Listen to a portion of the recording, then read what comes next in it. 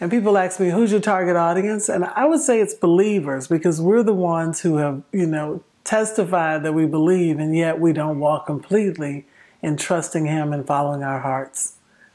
So some people, sometimes people will hear Seeds Life Ministry and they think it's church or religion. This is not about that. This is about my life's work, and that is to let you know that there's a gift in your heart you need to follow, and it satisfies a divine plan.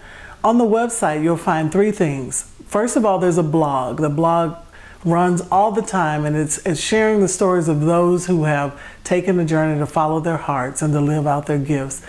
There's resources and tools that'll help you embrace and change your relationship with money and how you think about it, about sources and channels, about faith and doubt and naysayers, and on and on with resources and tools.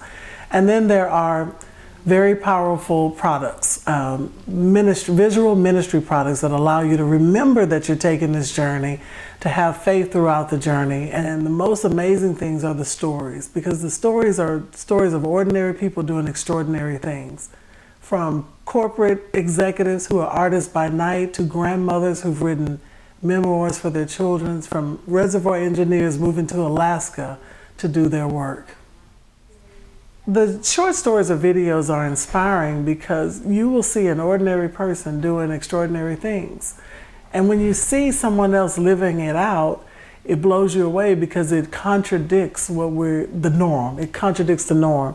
One story that I absolutely love is the NFL player who became a farmer. And you know, when he's asked whether or not he had any history of farming, he said, I learned everything I learned on YouTube. So, but we are already prepared to do what it is we're supposed to do in this life.